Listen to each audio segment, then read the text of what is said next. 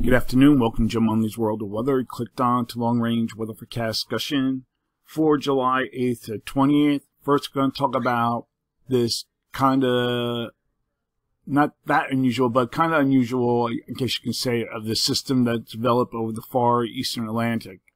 There's only been a couple storms that have formed at this low latitude and this far out and this early in the season. But here's the current position now. Um, is located at 10.3 north, 42.8 west, maximum sustained winds of 50 miles per hour, and moving towards the west at 16 miles per hour.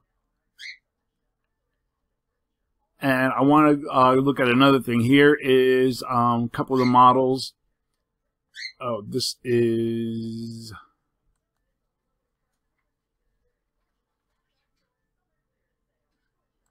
Is this the wrong one? Oh, I probably clicked the wrong one. Okay.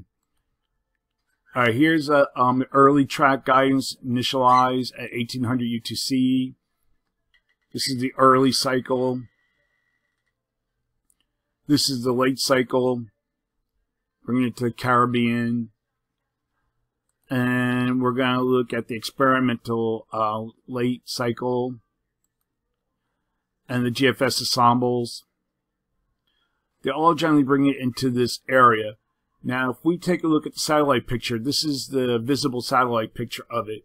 It's very tightly wound, and um, it might develop a little bit further in the next few days. But as it gets close to the Caribbean, we have a lot of shear going on and drier air, so it may not intensify, but it could hold together. That's one thing.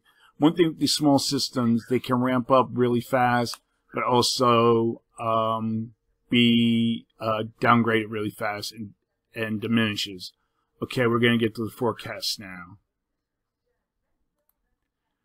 Okay, this is period for July 8th to 12th. We're looking at the 8th. We have a broad ridge across much of the nation. We have a trough here.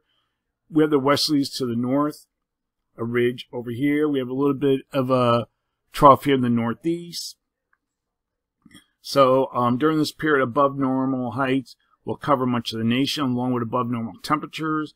A front will push into the east with showers and storms, and monsoon moisture will spread into the southwest, uh, resulting in storms. For July 11th to the 15th, here the 11th, we still have a little change. The westerlies remain to the north. Here's our ridge, 594 DM across much of the nation with above normal heights, a little bit of a trough here, trough here, miles of good agreement as we go to the 15th. And we look at the rest of the ensembles, or the models and ensembles, they are in a good agreement. So for this forecast period, I am forecasting above normal temperatures for much of the nation. I think this is a little bit overdone. Temperatures might be below normal here by about 2 degrees, but generally above normal temperatures forecast for much of the nation with anomalies of 12 degrees or more. And again, the highest anomalies would be across the west. For precipitation, call for below normal precipitation for much of this area here. And uh, the probability of occurrence is 45 to 55%. We have above normal precipitation forecast for this region as well as here. Probability of occurrence is 45%. I'll look at the period for July 16th to 20th. Wrong, Matt. To 16th to 20th. Here at the 16th. And we have above normal heights again across much of the nation. Westerlies remain to the north.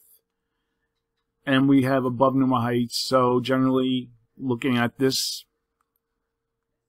expecting again above normal temperatures across much of the area, mostly the west though, with anomalies of 6 to 12 degrees above normal, and temperatures here might be closer uh, to about maybe 1 to 2 degrees above normal. And for precipitation, calling for below normal precipitation here, probability of occurrence 50%, we have above normal precipitation for this region here, portion of the Four Corners due to monsoon moisture. And also for here, most of the area east of the Mississippi River, probability of occurrence is 45 to 50 percent. That's the long range weather forecast discussion for July 8th to 20th. Thanks for coming Jim Munley's World of Weather and have a good day.